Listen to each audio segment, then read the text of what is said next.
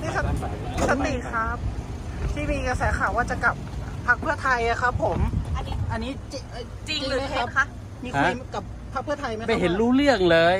แต่ว่ากระแสมันมาหนักมากเลยนะคะพี่สันติกระแสมีแต่คนไม่หวังดีอะที่เขาไปพูดในจอทีวีอะก็นะก็คือยืนยันว่ายังอยู่กับลุงป้อมใช่ไหมครับ อยู่ ยังไม่ไปไหนนะคะ ก็เนี่ยไปไหนอะแล้วกับพี่วราเทพอะครับ ฮะ พี่วราเทพอะครัได้บคุยกันบ้างไหมได้คะคุยกับพี่วราเทพไม่ได้คุย แต่ตอนนี้คือกระแสไม่ได้ข่าวคุย ต่างๆ มีคนใส่ร้ายอืม